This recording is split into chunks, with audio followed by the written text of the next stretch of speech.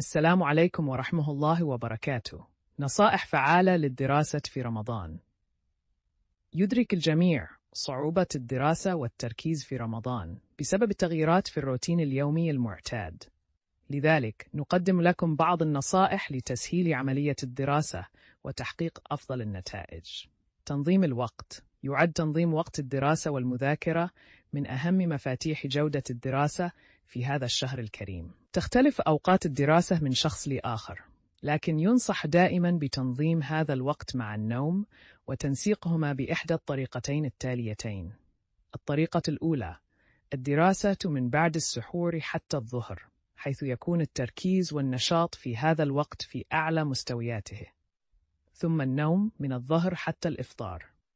الطريقة الثانية: المذاكرة في الوقت بين الإفطار والسحور، حيث لا يشعر الشخص بالجوع والعطش في تلك الفترة. ثم النوم من السحور وحتى الظهر. واستكمال الدراسة من وقت الاستيقاظ وحتى الإفطار. لا يمكن الجزم بأن واحد من تلك التقسيمات هو الأفضل، لكن ينبغي تقسيم الوقت طبقا لما تفضله. طرق أخرى فعالة للدراسة في رمضان تخصيص 25 إلى 30 دقيقة متواصلة للدراسة تتبعها خمس دقائق راحة للحفاظ على التركيز المطلوب للدراسة. تجنب الإجهاد والتعب حيث يمكن التوقف عن الدراسة عند الشعور بالتعب والإرهاق أو قلة التركيز وممارسة أي عمل ترفيهي. التخطيط الجيد حيث يفضل تحديد كم معين يراد دراسته على مدار اليوم قبل البدء في الدراسة. الاهتمام بمكان الدراسة حيث ينبغي فصل مكان الدراسة عن مكان النوم أو الأكل تجنبا لبعض الأفكار التي قد يحفزها المخ مثل الشعور بالرغبة في النوم أو الجوع.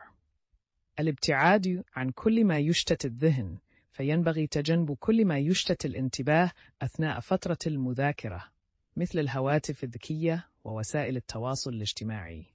استخدام تقنيات سهلة للمذاكرة حيث قد يصعب الحصول على التركيز الكافي للمذاكرة من الكتب الدراسية العلمية خلال النهار وقت الصيام. لذلك تعد المذاكرة من الملخصات الدراسية الموثوقة أو الخرائط الذهنية أو أي طريقة أخرى تسهل المذاكرة خيارا أفضل. تجنب الضغط النفسي والعصبية، بل يجب الحفاظ على الهدوء حيث لا يساعد الضغط النفسي على المذاكرة، بل قد يؤثر سلبا ويتسبب في قلة التركيز.